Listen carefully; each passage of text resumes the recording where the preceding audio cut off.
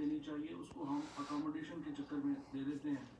यहाँ पर भी हमारे कासम अली खान मस्जिद के मौलाना शहाबुद्दीन फुफजई साहब जो हैं, वो हर साल रमज़ान और शवाल के नए चाँद का अलहदा ऐलान करते हैं।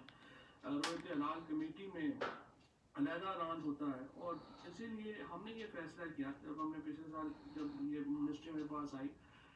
चाँद देखना तो दुनिया में मसला ही नहीं रह गया। और अब तो जो अगला जो मरहला था, वो ये था कि जो इस वक्त जो स्पेस से वाबस्ता साइंटिस्ट हैं या स्पेस से वाबस्ता इदारे हैं, वो तो ये कह रहे हैं कि हम जो अगले मिशन भेजेंगे मून में, वो ज़्यादा अरसा के लिए मून के ऊपर रहेंगे। लिहाजा ये भी इन दो हज़ार चौबीस में बल्कि इस दस सालों में आप समझिए कि काफ़ी हद तक ये मुमकिन होगा कि कई लोग जो है दुनिया में ईद भी चाँद के ऊपर कर सकेंगे। तो अगला तनाज़ा तो फिर ये होगा कि जो लोग चाँद पे ईद मनाएँगे, उनको वो ईद कैसे मनाएँगे?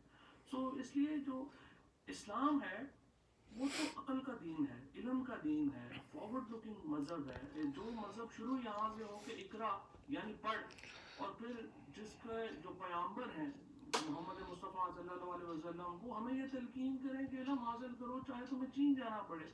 वो इलम से, अकल से, दलील से वो कैसे रोक सकता है? तो जो हमारा जो मज़हब है, वो मुसलमानों को इल्म की तलकीन करता है, अकल की तलकीन करता है, साइंस, टेक्नोलॉजी की तरफ़ जाने की तलकीन करता है। और जो लोग भी कहते हैं कि टेक्नोलॉजी का इससे कोई ताल्लुक नहीं है, साइंस का इससे कोई ताल्लुक नहीं है, इलम का इससे कोई ताल्लुक नहीं है, हम उनकी इस दलील को मुस्तरद करते हैं। इस्लाम इलम का दीन है, अकल का दीन है, और जो हमारे नबी नबी करीम वसल्लम की अहदीस है, उनकी रोशनी में इस्लाम एक फॉरवर्ड लुकिंग दीन है और इन ताला इस्लाम जो है और कुरान जो है, वो तमाम जो अलूम है, उनका माखज़ है। हमारा तो ये ईमान है कि तमाम जो इलम है, वो कुरान पाक से के माखज़ हैं। तो इसलिए ये बात तो मैं बिल्कुल इस चीज़ को मुस्तरद करता हूँ कि टेक्नोलॉजी का इससे कोई जो है वो ताल्लुक नहीं है।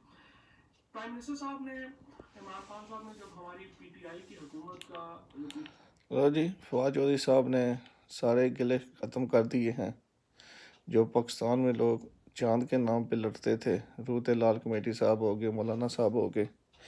उन्होंने कहा है कि संडे को वो बाकी मुल्क अमेरिका, इंग्लैंड के साथ ईद कर रहे हैं। इंग्लैंड का तो नहीं पता, अमेरिका के साथ।